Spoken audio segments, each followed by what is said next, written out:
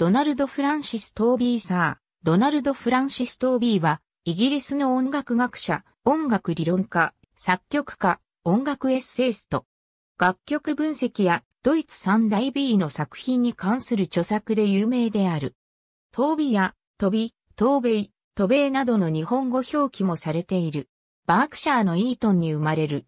少年時代からピアノと作曲を学び、最終的にヒューバート・パリーに指示した。ヨーゼフ・ヨアヒムの親友となり、ヨアヒム四重奏団の1905年の演奏会では、ピアニストとしてブラームスのピアノ五重奏曲の上演に参加した。作曲家としては、まずまずの評価を得て、ロンドンだけでなく、ベルリンやウィーンでも演奏された。自作のピアノ競争曲は1903年にヘンリー・ウッドの、1906年にはハンス・リヒターの指揮で上演された。1913年には交響曲を作曲している。この間トービーはブリタニカ百科辞典1911年度版の音楽記事の執筆に尽力し、18世紀から19世紀の音楽に関する大部分を書き上げた。1914年にエディンバラ大学で教鞭を取るようになり、そこにリード管弦楽団を設立した。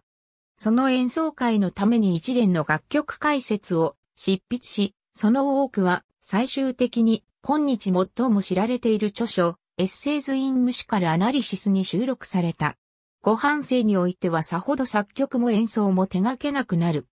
他人の作品の構成をいくつか行い、1931年にバッハのフーガの技法の未完の部分を保出した。1935年にはパブロ・カザルスのためのチェロ競争曲とオペラ、ディオニュソスの結婚を作曲した。1935年にナイトを受訓し、1940年にエディンバラに没した。作曲家としては保守的であり、カザルスが擁護したにもかかわらず、ブラームスの影響が非常に顕著で、あまり独創的であるとは言い難いが、堅固で綿密に書かれている。ザンジバル保護国の国歌を作曲した。リストオブワークスバイ、ドナルド・フランシス・トービ・インスルプ。ありがとうございます。